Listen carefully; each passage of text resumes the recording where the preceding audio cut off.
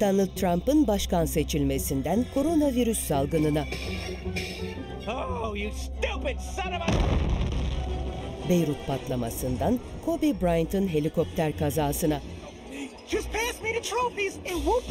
ekran yolculuğuna başladığı 1989'dan bu yana 33 sezona birçok kehanet sığdıran Simpsonların sırrı çözülüyor. Son yıllarda özellikle gelecekte yaşanacak olayları bildiği bölümleriyle adından söz ettiren şovun yapımcılarından Matt Salem, Deadline'a verdiği röportajda 34. sezonda geleceğe nasıl bu kadar doğru tahmin edebildiklerini açıklayan bir bölüm olduğunu açıkladı.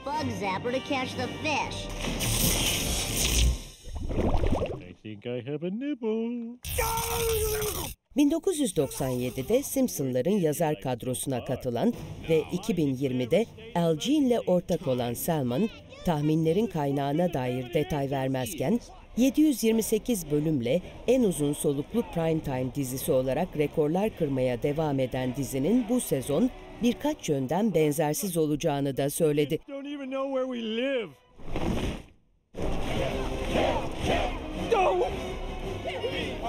Dizinin yazarları daha önce kehanetler konusunda bu durumun birçok kişinin tahmin ettiğinin aksine komplo teorileriyle ilişkilendirilemeyeceğini belirtmişti.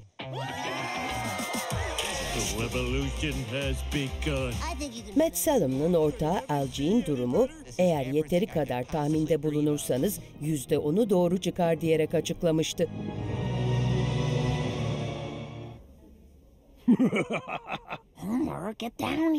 32 yıldır Amerika Birleşik Devletleri'nde yayınlanan Simpsonlar, Disney'in Fox'u satın alması, Kamala Harris'in başkanlığı, kolon heykelinin başının kesilmesi, akıllı saatler, Ebola virüsü, eski Beatles mektubu, 11 Eylül saldırıları ve Lady Gaga'nın Super Bowl'da havaya uçması gibi olayları önceden bilmişti.